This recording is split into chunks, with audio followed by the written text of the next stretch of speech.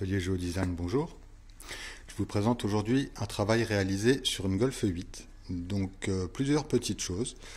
Euh, premièrement, covering euh, partiel des coques de rétroviseur en noir laqué. Covering partiel du pavillon, puisque sa partie avant est en panoramique. Donc on a décidé de poursuivre sa partie arrière en covering noir laqué. Ensuite, euh, ce qui s'appelle du déchromage. J'ai appris ça il n'y a pas trop longtemps. C'est simplement le fait de, recouvrir les baguettes chrome en noir laqué. Donc euh, voilà ce que ça peut donner. Mais c'est vrai qu'en vue d'ensemble, ça ajoute une petite touche. Ensuite, euh, covering, du, encore une fois déchromage du coup, puisque c'était cette troisième élément que j'ai recouvert en blanc puisque ces deux-ci étaient déjà blancs. D'ailleurs, on voit une légère euh, nuance entre mon blanc et la peinture de la carrosserie. Et enfin, euh, traitement de vitrage. Donc 70% sur les vitres avant, 20% sur les vitres arrière.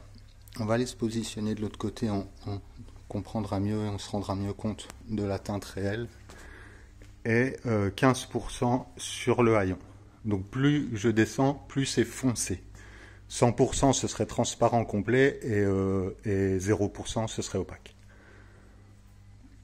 Donc voilà ce que donne la teinte. Et vous voyez que le 20% n'est pas noir. On souhaitait vraiment quelque chose de naturel, comme un traitement de vitrage qui aurait été fait à l'usine. Et c'est vraiment ce qu'on a. Et dès qu'on prend un peu d'angle et qu'on se met en trois quarts avant, on a vraiment l'impression que c'est noir.